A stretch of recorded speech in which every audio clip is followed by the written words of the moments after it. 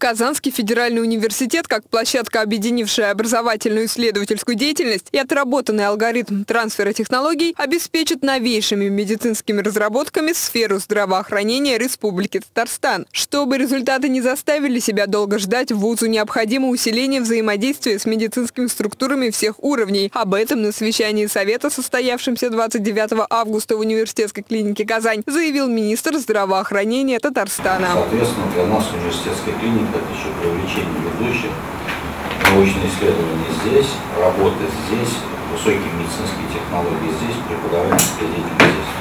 Далее слово взял главный врач клиники Альмир Абашев. Он рассказал совету, что позволяет университетской клинике оставаться одним из передовых медучреждений республики и как можно реализовать весьма амбициозные проекты. Члены совета обратили внимание на современные корпуса университетской клиники «Казань», которые оснащаются по последнему слову техники.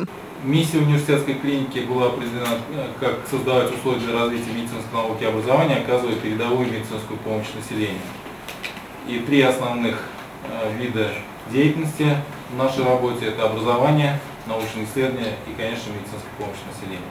Ознакомившись с презентацией планов и проектов клиники, ректор КФУ Ильшат Гафуров отметил, что стратегия развития медицинского подразделения опирается прежде всего на потребности нашего региона. И у Казанского федерального есть для этого все необходимое – многочисленные площадки и ресурсы. В дальнейших перспективах ректор видит создание передового центра медицинской науки.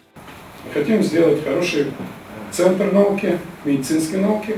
И этот вопрос я озвучил на первом совете по науке у президента нашей республики. И на базе этой клиники обязательно будет межрегиональный центр для клинических исследований.